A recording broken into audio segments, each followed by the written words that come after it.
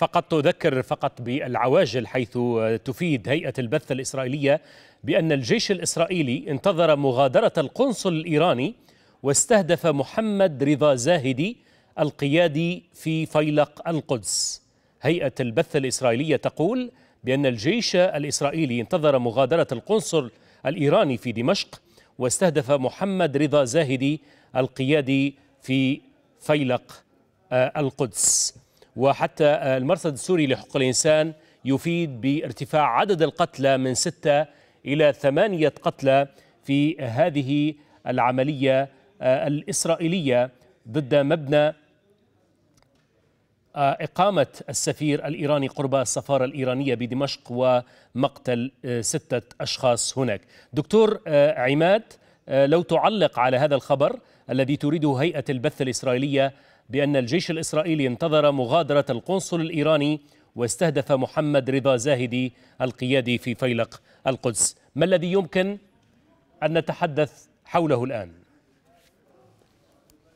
يعني عمليا هذا اعتراف واضح ورسمي من قبل إسرائيل بأنها استهدفت مقرا دبلوماسيا القنصلية الإيرانية والسفارة ومنزل السفير الإيراني هم مقرات دبلوماسية حسب جميع القوانين الدولية. هم محميون من قبل القوانين الدولية وقيام إسرائيل بهذا الهجوم. عمليا هو تخطي لجميع القوانين الدبلوماسية. واعتراف إسرائيل بهذا الموضوع يعني إنه إذا لم تقم الأمم المتحدة ومجلس الأمن الدولي بالخطوات اللازمة لمعاقبه إسرائيل على هذا التصرف. إيران يجب عليها أن تقوم بالرد بالمثل ويحق لها أن تقوم بالرد بالمثل وأن تستهدف المقرات الدبلوماسية الإسرائيلية أينما وجدت. وهنا لربما العديد من دول العالم يجب أن يعلموا أن المقرات الدبلوماسية الإسرائيلية باتت اهدافا مشروعه لإيران. يعني عمليا سوريا هي دولة مستقلة ضمن عضوه في الأمم المتحدة. تعدت إسرائيل على الأراضي السورية وإضافة إلى ذلك تعدت على مبنى دبلوماسي واستهدفت مبنى دبلوماسي بشكل رسمي بشكل علني وهذا بحد ذاته يكفي لإدانة إسرائيل ومعاقبة إسرائيل ولكننا نعلم ولكن إسرائيل نعم الولايات المتحدة نعم. ولكن إسرائيل تقول نعم. أننا لم لم نستهدف القنصل الإيراني ولكن استهدفنا محمد رضا زاهدي القيادي في يعني فيلق القدس وهو الذي أيضا أحد القيادات التي تقود الحرب على إسرائيل المبنى. من مكان في المبنى عمليا هذا مبنى دبلوماسي أو لا؟ امم صحيح القنصلية هي مبنى دبلوماسي أو لا؟ هم استهدفوا مبنى دبلوماسي فيه حصانة دبلوماسية. عمليا لم تعد هناك للسفارات والمباني الدبلوماسية الإسرائيلية أي حصانة بالنسبة لإيران وإيران يحق لها أن تستهدفها. عمليا هذا طيب ما دكتور عماد يعني هذا نعم. يعني قانونيا نعم. حينما يعتدي أي طرف على مبنى دبلوماسي والذي يتمتع بحصانة دبلوماسية دولية هذا الاعتداء ما الذي يترتب نعم. عليه في العرف الدولي آه على كل حال آه آه آه الأمم المتحدة يعني مجلس الأمن الدولي يجب أن يضع عقوبات على الدولة التي قامت بهذا العمل والدولة التي ساندت هذا العمل أو أعطت الأسلحة لكي يقوم بهذا العمل يعني هنا الولايات المتحدة أيضا هي شريكة في هذا الموضوع ليس فقط إسرائيل. يعني لأن الأسلحة التي تم استخدامها هي أسلحة أمريكية. إسرائيل تتعدى على القوانين الدولية بغطاء أمريكي وبمظلة أمريكية. يعني لولا الولايات المتحدة أمنت الغطاء السياسي لإسرائيل كي تتعدى على القوانين الدولية في غزة وفي الأماكن الأخرى لما تجرأت إسرائيل أن تقوم بهكذا عمل وتستهدف مبنى دبلوماسي بشكل مباشر وبشكل علني. وعمليا يجب حتى مجلس الأمن أن يتخذ قرارا حتى بالنسبة للولايات المتحدة وتصرفاتها.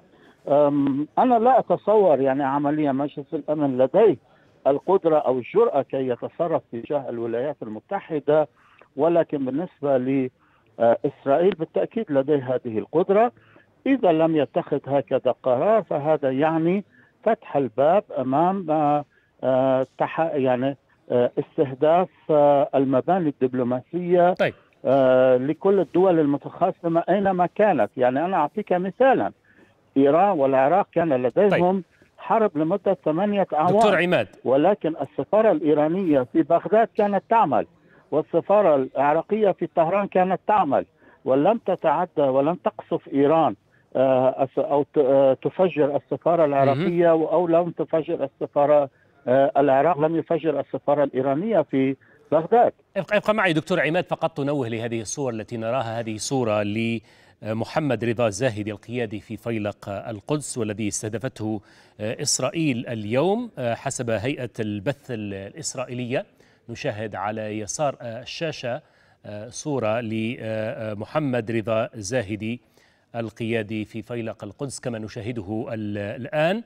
وبالتالي آه، آه، هذه آه، آخر الأنباء التي وصلتنا حول هذه العملية التي استهدفت مبنى مقر إقامة القنصل في العاصمة السورية دمشق. وأيضا في يمين الشاشة نشاهد كيف هناك حطام جراء التفجير الذي حصل بضربات جوية إسرائيلية حول هذا المكان. طبعا الجيش الإسرائيلي يقول بأن أنه انتظر مغادرة القنصل الإيراني ليستهدف محمد رضا زاهدي القيادي في فيلق فيلق القدس.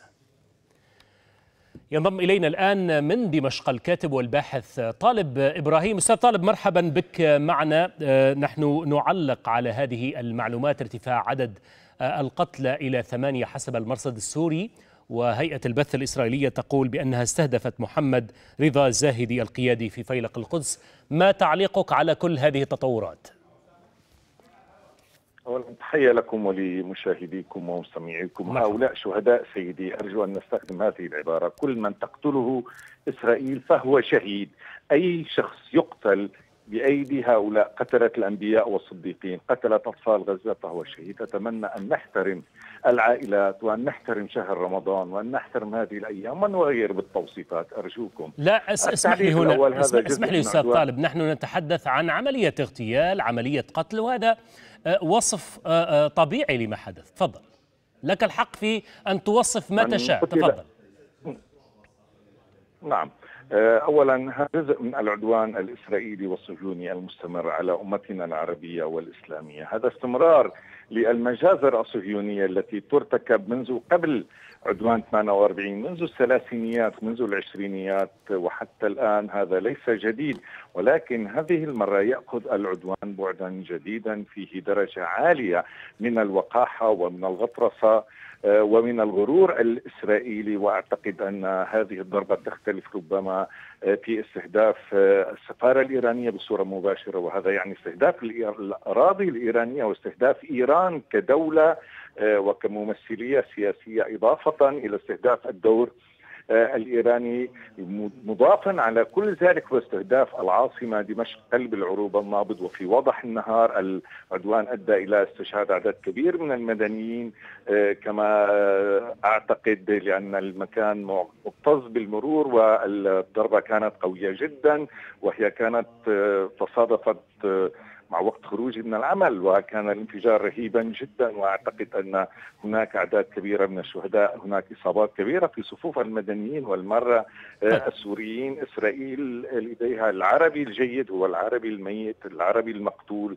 العربي الذي لا تنبض فيه روح هذا هو التعليق الأولي على هذا العمل الجبان من قبل إسرائيل وأعتقد أنه آن الأوان لمحاسبة إسرائيل على هذه الأعمال يجب لا تترك الساحة السورية مفتوحة آه، لهذا العدو كي يفعل بها ما يشاء وما يريد.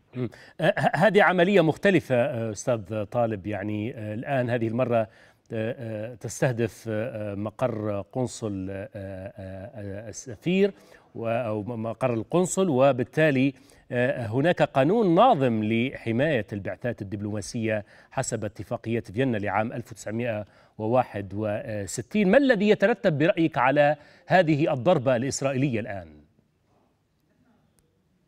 أعتقد آه، الذي آه، لم يتورع عن استهداف مشفى الشفاء بغزة وباقي المشافي آه، لا يكترث لا بالقانون الدولي ولا بالقانون الأخلاقي، نحن أمام كيان إرهابي وصفي، أمام حالة إرهاب منظم. تقوده عصابة هي لا تختلف، لا يختلف نتنياهو عن مناحم بيغم وعن شامير الذي كان مطلوب حيا أو ميتا وكما رفع بطاقته آه، وزير خارجية سوريا السابق فاروق الشارع. آه، أعتقد أنه يترتب الآن رد من قبل المجتمع الدولي إذا كان هناك مجتمع دولي آه، أو كان هناك رأي عام دولي ولكن الأهم يترتب على هذا العدوان كما أعتقد. ويجب أن يكون هناك رد قوي وكبير جدا من قبل أطراف محور المقاومة وعلى الأخص إيران التي آه، استهدفت أراضيها التي يستهدف أبنائها باستمرار في سوريا وفي غير آه، سوريا وبالتالي يجب أن يكون هناك آه، ردود مختلفة في على الصعيد السياسي وعلى الصعيد الأمني مباشر وعلى الصعيد العسكري. هذه المرة يجب أن لا تمر على الإطلاق وأن لا يكون هناك عبارات من باب الاحتفاظ بحق الرد أو خلاف ذلك. آه، لأن آه، كما ذكرنا الضربة ليست فقط مختلفة لا في التوقيت ولا في الاستهداف ولكن هذه الضربة تعبر عن عدم اكتراث لا بالقانون الدولي ولا بالقانون الإنساني ولا بحياة سوريين ولا بحياة الإيرانيين، هذه الضربة تشير بكل بساطة أن بجانبنا وحش إرهابي قاتل متعطش للدماء اسم هذا الوحش الكيان العنصري الصهيوني المسمى إسرائيل. شكرا لك الكاتب والبحث طالب إبراهيم. كنت معنا من دمشق. نذكر فقط مشاهدينا بهذا الخبر الذي يرد على الشاشة.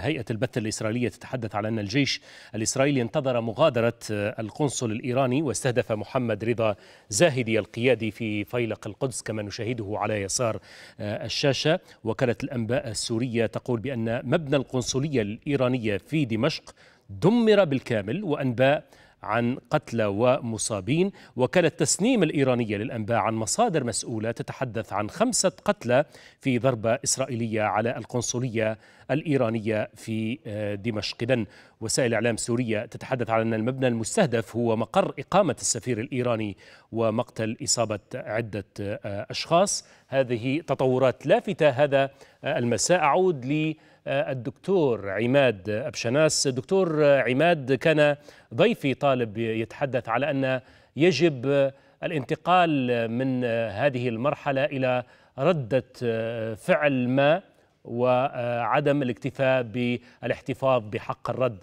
ما الرد المتوقع برأيك في الأيام القادمة على هذه العملية؟ أنا لا أتصور أن إيران سوف تحتفظ بحق الرد بل سوف ترد. آه، ولكن كيف وأين؟ طبعا هذا لا العالم ولا أحد به. عمليا المسؤولين الأمنيين والعسكريين والسياسيين هم الذين يقررون آه، كيف وأين يردون. ولكن عادة آه، إيران ترد بالمثل. يعني إذا ما تم استهداف مقر عسكري آه، لإيران أو آه، ضباط عسكريين أو أمنيين.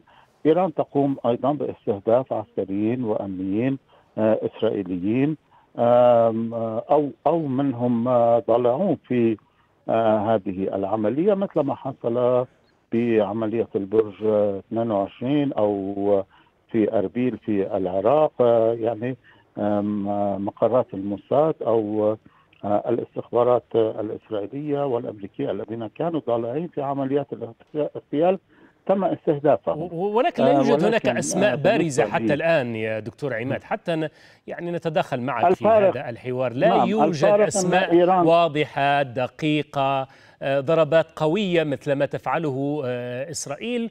وهذا الذي يجعل الكثير يتساءلون عن سر هذا الرد الخجول. يعني الفارق هو أن إسرائيل تخفي أسماء قتلاها والولايات المتحدة نفس الشيء ولكن بالنسبة لإيران لأن موضوع الشهادة هو موضوع مقدس وهم يريدون أن يعني يحتفوا بالشهداء عمليا يعلنون عن شهدائهم. هذا الفرق. ولهذا يعني تسمعون أسماء الشهداء الإيرانيين ولكن لا تسمعون أسماء القتلى الأمريكيين أو الإسرائيليين لأن الحكومات الأمريكية والإسرائيلية لا تريد أن تنشر هذه الأسماء طيب كيف برأيك سينعكس هذا الهجوم على الوضع الإقليمي دكتور عماد؟ يعني عمليا أتصور أن اليوم ما يريده نتنياهو هو إثارة الفوضى والحرب في المنطقة. وأنا أتصور أن إيران سوف تحاول أن تستمر في سياستها السابقة وهو الانتظار حتى أن يكون تكون اللحظة المناسبة لإيران ولحلفاء إيران لمواجهة إسرائيل وليس اللحظة التي يريدها. طبعا نتنياهو بهذا العمل أراد أن يعني يجر إيران إلى هذا الحرب وحلفاء طيب. إيران إلى هذه الحرب. هو يعلم جيدا أن إيران أرسلت كميات ضخمة جدا من الأسلحة خلال الستة أشهر الأخيرة ونوعية إلى حلفائها في المنطقة وعمليا يريدون من إيران وحلفاء إيران كي يكشفوا ما لديهم ولكن حتى استكمال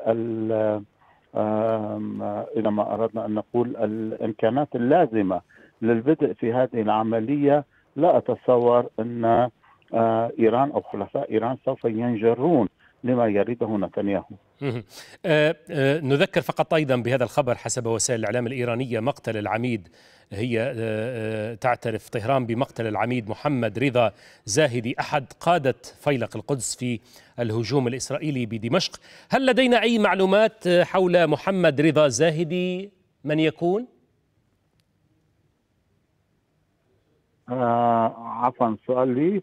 نعم لك لك سؤال. هل لدينا معلومات حول هذه الشخصية؟ بالنسبة لمحمد زاهدي عمليا هو كان أحد قادة القوات يعني قائد القوات البرية للحرس الثوري وعمل لمدة في في سلاح الجو الإيراني.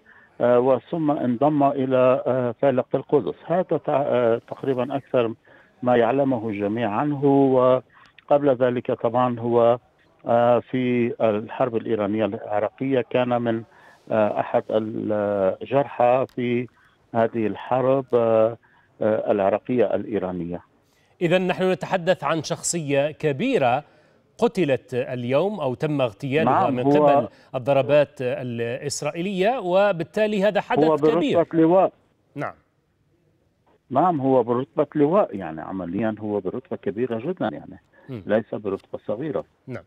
ما حجم آآ آآ هذا الأثر؟ يعني الآن نتحدث عن شخصيات كثيرة تم اغتيالها على يد إسرائيل في الآونة الأخيرة ما حجم الضربات التي تتلقاها إيران برأيك؟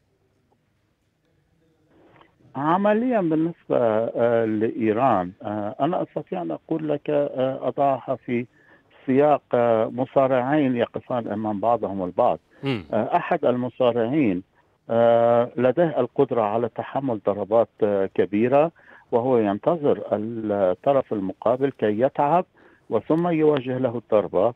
هنا المصارع الأكبر هو إيران التي تستطيع أن تتحمل هذه الضربات ولكن في الوقت الذي تراه إيران مناسبا لتوجيه الضربات لإسرائيل.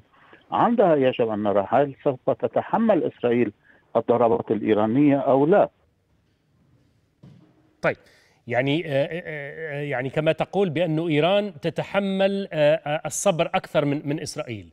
اذا طيب دعني أعطي فقط نبذة. بشكل كبير نعم. جدا يعني عمليا عمليا هذه عمليات الاغتيال التي تقوم بها إسرائيل لن تؤثر على القدرات العسكرية الإيرانية أو حتى الحرس الثوري الإيراني. يعني أكثر شخصية لربما نفوذا وقدرة في فيلق القدس كان الشهيد سليماني ورأينا أنه بعد اغتياله ببضع ساعات تم استبداله تم تعيين اللواء قائمي بدلا عنه. يعني الساعة 2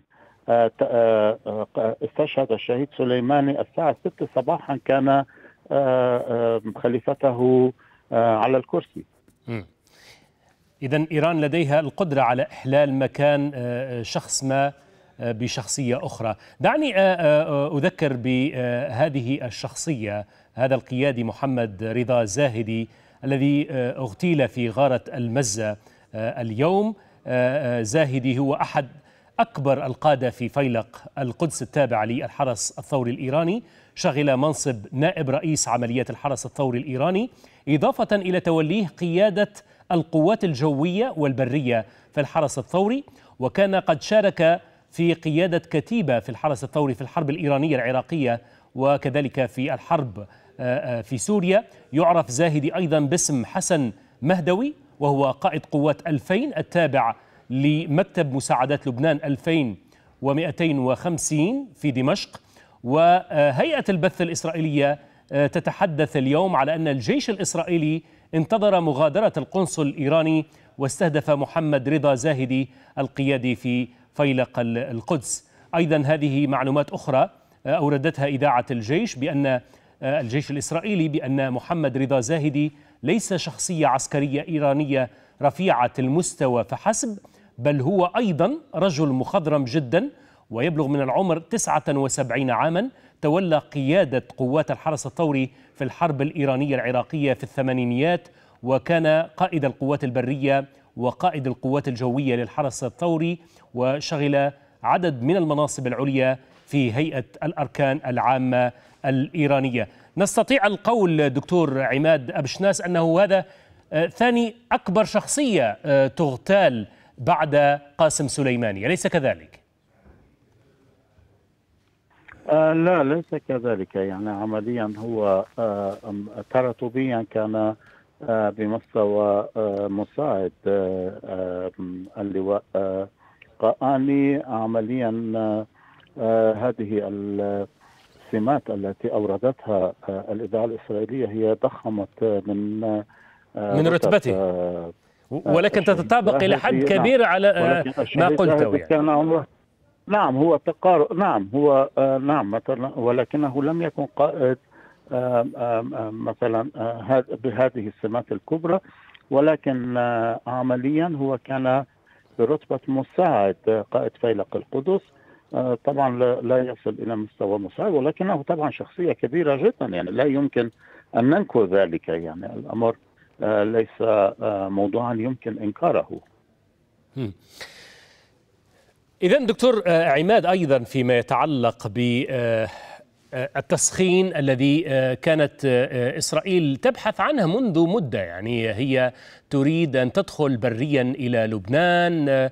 كان هناك تلويح لعدد من القيادات الإسرائيلية بأن صبرها نفد ويجب أن تلجم حزب الله في هذه المعركة. هل تعتقد بأننا نقترب من الحرب الأوسع الآن؟ في الواقع إسرائيل تريد ذلك. عمليا إيران وحزب الله وحلفاء إيران لا يريدون ذلك ويتجنبون ذلك. ولكن طبعا إذا ما فرضت الحرب عليهم الأمر سوف يختلف. يعني هناك فارق بين أن تقوم إسرائيل ببدء الحرب أو تقوم إيران وحلفاء إيران يقومون ببدء الحرب خاصة بالنسبة الظروف الموجودة مثلا في لبنان أو حتى سوريا الظروف الداخلية الموجودة الجو العام لا يقبل أن يبدأ حزب الله حربا طيب. أو الجو العام في سوريا لا يسمح بأن تبدأ سوريا حربا ولكن إذا ما فرضت حرب على سوريا أو لبنان أو لبنان الظروف كلها سوف تتغير وقيام إسرائيل بمهاجمة سوريا أو لبنان سوف يغير كل المعادلات. يعني الظروف كلها م. سوف تتغير وعندها لربما آه، نرى تحركات وتصرفات أخرى من إيران وحلفاء إيران في المنطقة. دكتور عماد أيضا هناك سؤال يطرح كثيرا في الآونة الأخيرة. يعني كيف نفسر سهولة وصول إسرائيل لتحركات هذه القيادات؟ يعني أكثر من مرة يتم فيها ضربات وتكون ضربات الإسرائيلية دقيقة. كيف تفسرون سهولة وصول إسرائيل لكل هذه الشخصيات؟ للأسف هناك اختراقات أمنية كبيرة في سوريا ولبنان. أمنيا سوريا ولبنان مخترقون بشكل كبير جدا أمنيا واستخباراتيا ولحد الآن يعني عمليا كل هذه العمليات تتم عبر معلومات استخباراتية مؤكدة يعني عمليا بسبب هذا الاختراق الكبير الموجود في سوريا ولبنان تستطيع إسرائيل أن تحصل على معلومات عن تحركات القادة الإيرانيين أو قادة حلفاء إيران في في سوريا ولبنان. كيف يتم هذا الاختراق؟ عبر الأجهزة الأمنية الاستخباراتية يعني هم يدفعون للعملاء والجواسيس. طبعا المال يفعل كل شيء يعني هناك الذين يبيعون ضميرهم يبيعون بلادهم يبيعون كل شيء من أجل المال وهم يدفعون الإسرائيلي يدفع لهم. وهناك منهم متعاونون مع إسرائيل بسبب أنهم لديهم عداء. تجاه إيران أو عداء تجاه حزب الله أو عداء تجاه الحكومة السورية يتعاملون مع إسرائيل هم عملاء لإسرائيل وبها و يعني يعطون المعلومات الاستخباراتية التي تحتاجها إسرائيل في هذا السياق. يعني إيران طالما تباهت بقدرتها على تطوير الصواريخ الدقيقة وما إلى ذلك كيف نفسر عجزها عن حماية قياداتها على الأرض؟ للأسف المشكلة الأكبر فيما بين القيادات العسكرية لإيران أو خلفاء إيران إنهم يستهينون بالإجراءات الأمنية وهم يعني لا يقومون بتنفيذ الإجراءات الأمنية اللازمة ويتصورون إنهم إذا ما استشهدوا سوف يصلون إلى ما يبغونه عمليا لا يأبهون للتعليمات الأمنية اعلاميا ومعنويا الضربات العسكرية هي تؤثر على إيران أكثر من ما تؤثر على الذين يستشهدون يعني عمليا الذي يستشهد هو طيب. ما يبتغيه هو أن يصل إلى الشهادة. ولكن طبعا هناك تأثيرات معنوية وإعلامية هم لا لا يفكرون بها. نعم. دكتور دكتور عماد يعني في تطور الآن التلفزيون الرسمي الإيراني يعلن مقتل عدة دبلوماسيين إيرانيين في ضربة إسرائيلية على القنصلية الإيرانية في دمشق وهذا تطور ربما يضاف لسلسلة هذه العواجل التي كنا نتابعها منذ لحظات. إذا هناك عدة دبلوماسيين إيرانيين. نحن لا نتحدث الآن عن ضربة على القنصلية الإيرانية وإنما أيضا مقتل عدد من الدبلوماسيين. باختصار لو سمحت تعليق. نعم. نعم وهذا يعني أن وهذا ما كنت أقوله يعني مبنى دبلوماسي تم استهدافه قنصلية ومنزل السفير بالتأكيد. هناك دبلوماسيين حاضرون وهذه الحجة التي استخدمتها الإذاعة الإسرائيلية بأنه انتظروا القنصل كي يخرج وثم قاموا بعملية الاغتيال. هذه حجة واهية. نعم. عمليا هناك بالتأكيد دبلوماسيين موجودون هناك وعمليا هذا يعني أن كل الدبلوماسيين الإسرائيليين باتوا أهدافا مشروعة لإيران في كل العالم. نعم. شكرا جزيلا لك دكتور عماد أبشناس. دكتور دكتور عماد شكرا جزيلا لك على كل هذه المعلومات.